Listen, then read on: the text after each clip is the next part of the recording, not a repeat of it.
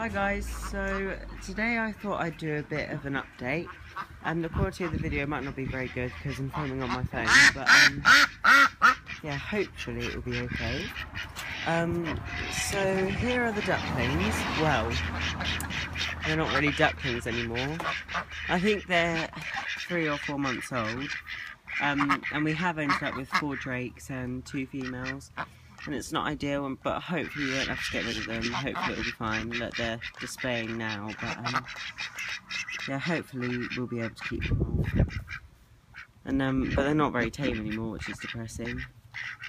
That might be because I'm holding my phone, because they do normally let me um, hold their beaks and stuff. And um, we've got some sad news because this is the chick and I say chick because one of them sadly died. Um, I don't know why, um, but I think it might have had something to do with a respiratory disease.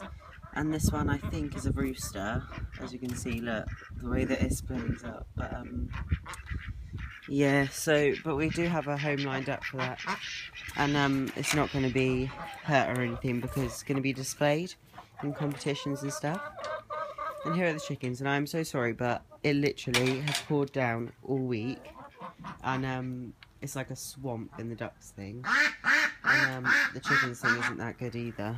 But they're all fine. They've been going through a molt, which is why they look a bit scraggy. But um, yeah, and they're all fine. And you'll notice that the bantams aren't in here, but I'll tell you a bit about that in a minute. Um, so here are the other ducks in their swamp. Um, but it's sunny today, so hopefully it will dry out a little bit. Yeah, they're doing fine as well. All healthy weights and stuff. We go over here, you will see two bantams. The Pekins, um, Daisy and Daphne. And then in the coop, Flo and Queenie are laying an egg. Well, Queenie lays an egg and Flo stands guard.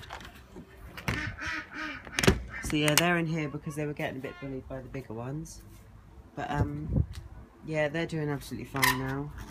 And they love it in here. The sable poots spend all their time on that perch. But yeah, Daphne and Daisy like on the floor. Trying to eat my phone. Trying to eat my phone. Daisy doesn't like me, she's crazy. But um, yes, they're absolutely fine as well. We had a bit of a problem with a respiratory disease called mycoplasma. But then I got this antibiotic called Tylan, And then upon using that, they were all fine now. And it cleared up perfectly. But yeah, I hope you enjoyed this video. Please leave a comment and like if you want more. Um, so yeah, thank you. Bye.